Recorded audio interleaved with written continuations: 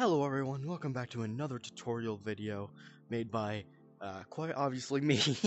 uh, today we are going to be focusing on what I would say is one of the most important parts of uh, understanding CV2, and that's integers and other types of variables. So we're going to get into that today and just learn all the basics about it. So, here we have all of our variables, the float variable, the bool variable, and the int variable. Of course, there's many, many, many other variables. You can find them by going to your Maker Pen, clicking Circuits v2, and going down to Variables. Here's all the variables. We are going to be only focusing on these three, plus the string variable at the end, if I have time. So, starting from the left, we will just go through each of them, and I will tell you guys how to use them. So, here is the float variable. This variable is basically just used to get the distance of pistons and the rotation of um, rotators. So if I got get out a piston here, you'll see it wants a float for the speed and the max distance. It also outputs a float.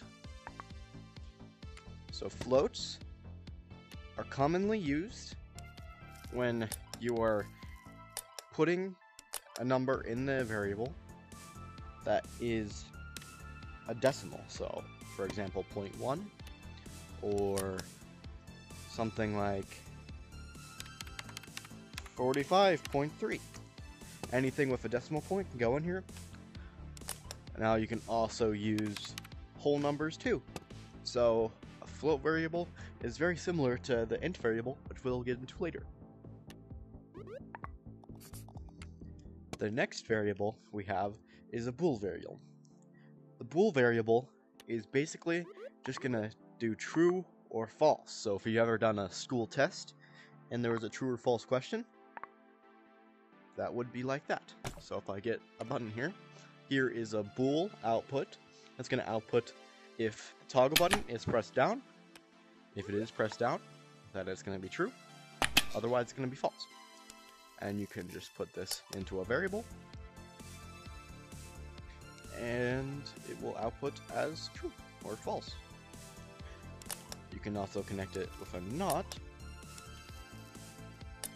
and uh, what a not does is it outputs the opposite of what is being input into it.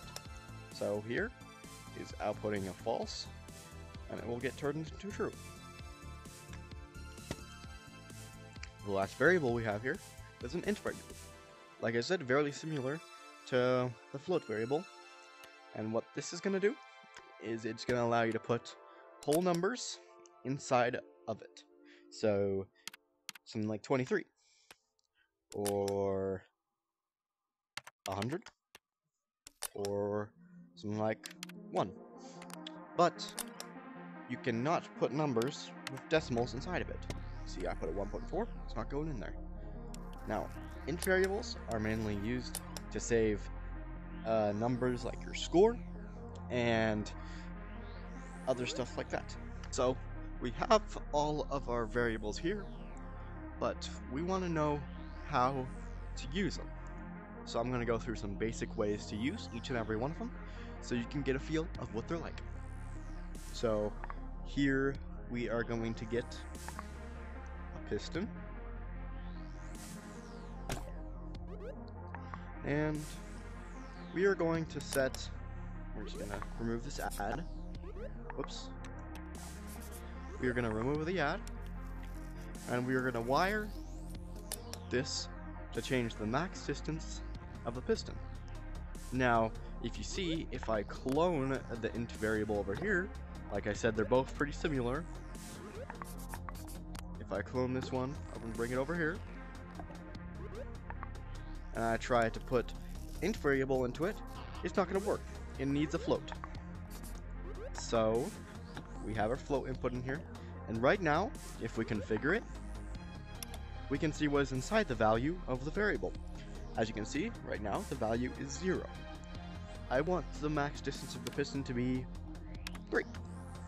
So, just like that, we have changed inside of the variable. So next up, we have the bool variable, and this is again used to check if something is true or false.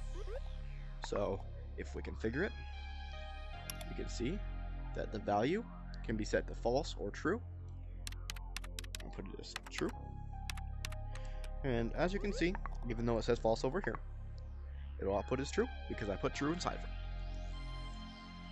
So say I want to put something that checks if the toggle button is pressed, true or false. So we're going to wire that so each time it's pressed down or released, it's going to check if it's pressed down or released.